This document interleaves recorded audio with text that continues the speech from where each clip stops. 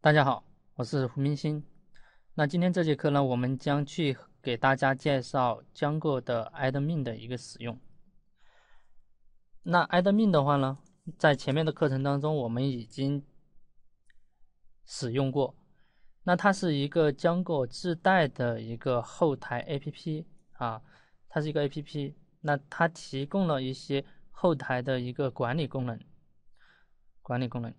那在前面的课程当中，我们其实有去使用到这个 admin 点 py 啊，大家还记得吧？然后我们在这个 admin 点 py 里面呢，去把我们的 module 对吧，注册到了 admin 啊，注册到了 admin。那注册到 admin 之后，我们可以去使用到这个管理的后台啊，使用到这个管理的后台。那这个管理的后台。好，还记得有些为什么显示的是中文，有的为什么显示成英文，对不对？好，这个大家好应该能知道哈，在前面的课程有讲到。那比如说这个出版商，好，我们的这个注册到 admin 之后，我们的相应的 module 就能在这个后台呢进行一个管理，进行一个管理。OK。那我们之前的这样的一种注册的方式呢，算是一个默认的方式，去把我们的 admin 啊，把我们的 module 注册到了 admin。但是在我们实际使用的时候呢，其实 admin 呢是一个非常强大的这样的一个后台的 app 啊，它能够提供的功能呢是非常多的啊，我们可以很方便、很快捷的去改变，比如说管理的界面啊，或者是我们要管理的字段。啊，都可以去做一些改变。OK，那我们今天的话呢，就来进一步的去了解这个 admin 的后台。那首先我们要去认识的呢，是一个管理界面的定制类。那这个呢叫 module admin，啊，它是管理界面的定制类。我们如果需要去扩展特定的这个管理界面的时候，就需要从这个类去继承、去扩展我们自己的这样的一个类。OK。那我们来看一下，那比如说我以出版商为例哈，出版商的这个 model 为例，那它现在呢是默认的啊，默认的这样的一种管理的方式和界面。那比如说我进入到这里之后啊，进入到这里之后，我希望把我的这个列表里面显示的信息啊，不仅显示这个出版商的名字，我还希望把它的啊，把它的什么呢？我看一下有些什么字段哈。比如说，我还希望把它的这个 country 对吧，国家、省份和城市的信息显示出来，那我们怎么去做？好，那我们就需要去定义这个管理类。那怎么去定义呢？我们自己去声明一个类。那这个类呢，比如说叫 publish，然后 admin。那但是这个类呢，是必须要求从我们的 module admin 去继承过来的啊，这个 module admin 呢是所有这个后台管理类的一个基类啊，我们从它去继承扩展自己的这个管理类。那继承过来之后啊，继承过来之后，那我们在这个地方使用一个 list 下划线 display 的一个属性去设置指定要显示的字段啊，我们只需要把这个属性呢扩展一下。扩展一下，我们是希望去显示一个是 name 对吧？啊，name 的话就是出版商的名字。除了出版商的名字之外呢，还有国家，好，把国家也放过来。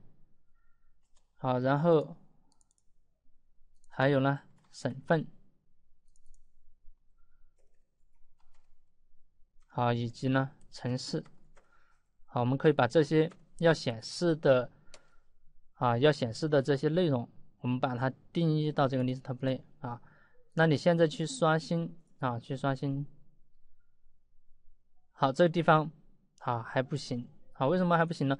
因为我这个地方只是定义了这个管理的类，但是呢，这个类并没有注册到我的后台，对不对？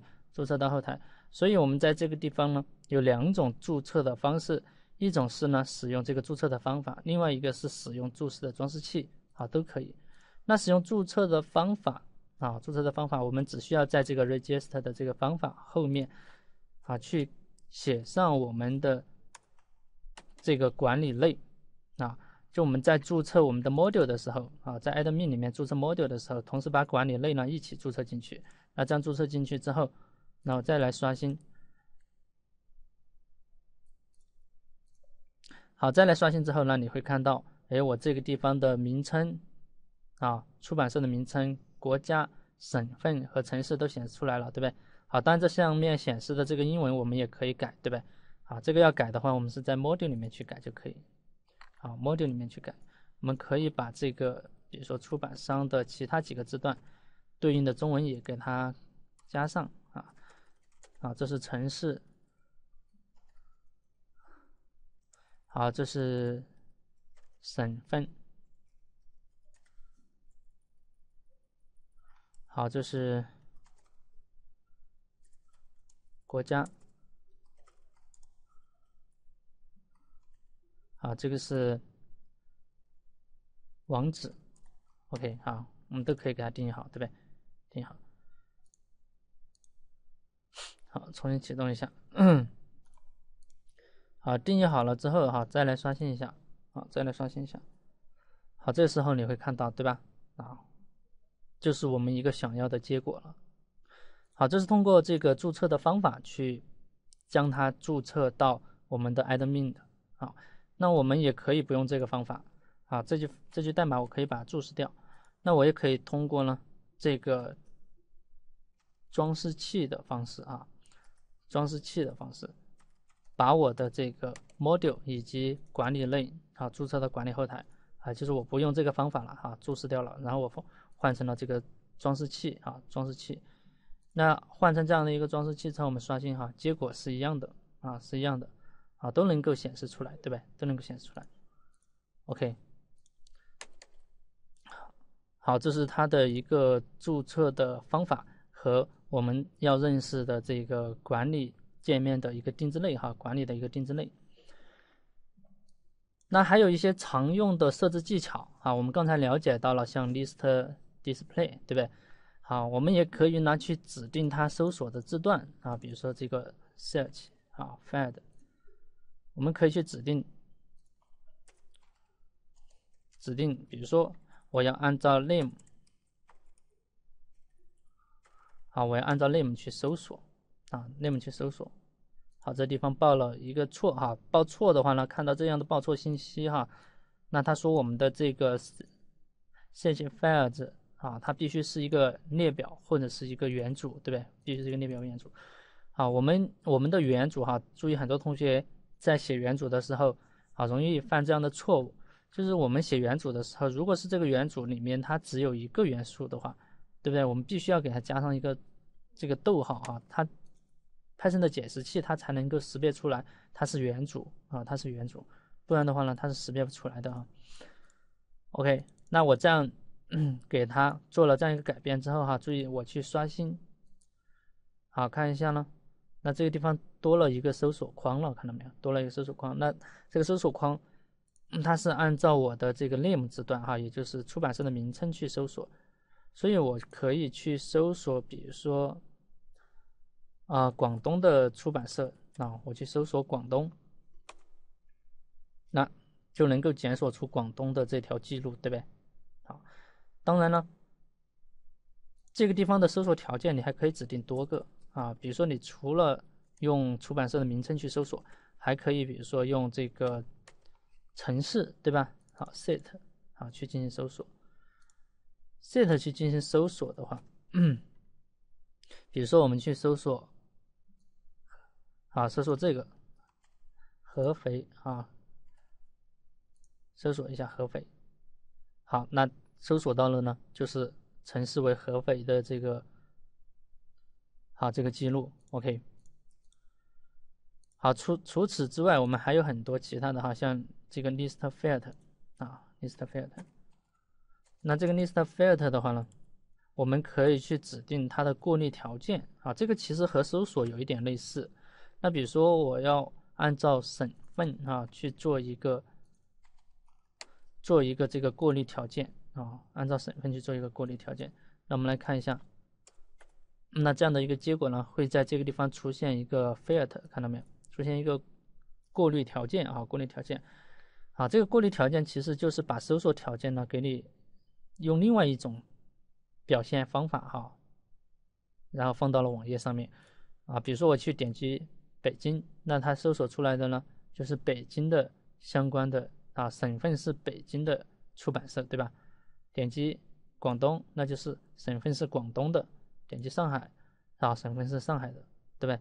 啊，它其还其实还是相当于一个查询条件，只不过呢，它的表现形式变了。OK，还有呢，排序啊，排序，我们的这个列表的内容呢，我们也可以去指定排序的条件啊，比如说我按照啊 ID 去进行排序啊，应该默认的话，它就应该是用的 ID 啊 ID。好，默认的就是 ID，只不过默认的应该是哈，如果没有加这句话的，它默认应该是用 ID 的降序去排列的。啊，它默认的应该是用 ID 的降序去排列。啊，我给它加上一个 ID，那这个时候，啊，这个时候呢，它就变成一个以 ID 去升序啊，以升序的方式去排列。所以你会看到同济大学排到了最后面对吧？啊，当然你这个地方要表示降序的话呢，也很简单。啊，就前面加一个减号啊，这个和 module 里面的那个排序的规则是一样的。OK，好，这个排序。好，再比如啊，我们的编辑的表单啊，编辑的表单，我们可以去指定这个编辑的表单哈。当然，编辑的表单在指定之前，我们可以先看一下，它默认的啊，默认的是把所有的这个字段信息。对吧？都给你放到了这个编辑表单里面。那比如说，我想定义这个编辑表单，我只想去编辑，比如说 name 和地址，address，啊，我只想去编辑名称和地址。那如果是这样的话呢，我去刷新，那你会看到呢，这编辑表单，那它就只有名称和地址，对不对？名称和地址。好，同样和它有一个相反的啊，就是不需编辑的字段啊。files 呢是指指定编辑的字段，这个呢是指定不编辑的字段。那除开这个不编辑的，其他都是要编辑的。所以这两个条件正好是相反的，这两个设置正好是相反啊。所以我这个用 include 去设置的话呢，就编辑表单它不会包含 name 和 address，但是除开这两个之外，其他的都会包含。好，你会看到没有名称和地址啊，其他的四个字段都出来了，对不对？好，这是这个。好，还有像这个 field set 啊，设置分组表单啊，设置分组表单。好，这个的话设置就比较长一点哈，我直接从这个官方的文档里面哈去拷贝一下例子。好。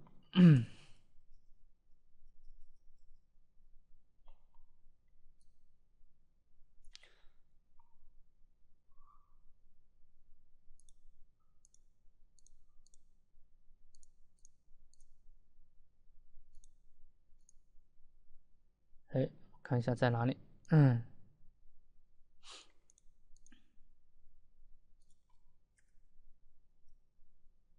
啊，在这里对吧？好，model，好，model admin，还有 field set，好，我们可以去设置这个 field set 啊，比如说它的这个官方的例子里面呢，它去设置这个啊字段集，设置了之后的话呢，让它显示的一个效果啊，就类似于这样子啊。我在前面呢是我要编辑的一些字段显示出来。那你如果是要进行一些高级的设置，那它的高级的设置呢，默认是隐藏的，你可以去点击呢把它展开。好，我们可以把这个呢放到我们的这个例子里面来改一下。好，我直接复制过来，啊，直接复制过来，复制过来之后啊，我们可以在这个地方去定义好 field set。好，我如果是去编辑呢，默认的话呢，我是去编辑 name 和地址 address。然后，啊，它的高级的设置里面，哈，这个折叠的形式，哈，我就用它这个默认的。然后，这个 file files 啊，就是高级设置里面的其他的字段，我给它去编辑呢，像看一下 model 啊，set，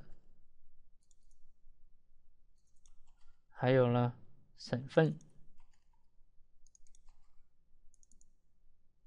好 country，还有 website。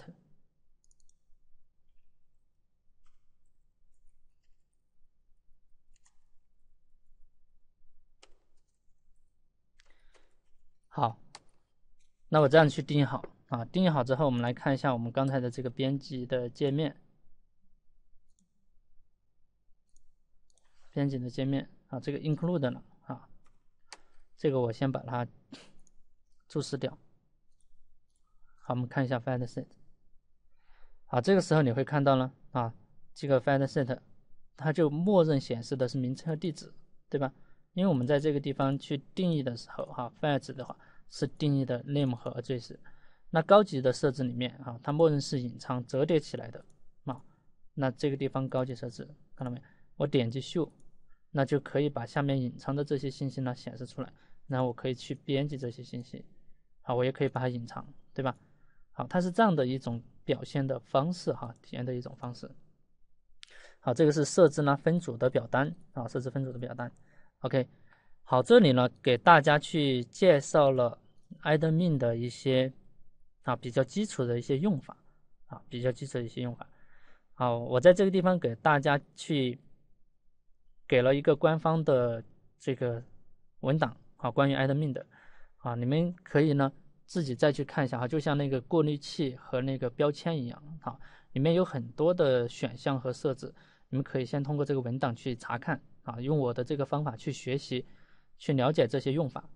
OK，那除开这一些基础的用法之外，还有一些更高级的功能啊，比如说我们要去定一个 admin 的 action 啊，比如说 admin 的 action 什么？啊，像这个地方的这个 action 对吧？你要去指定它的这个动作啊，比如说它默认是这个删除的动作。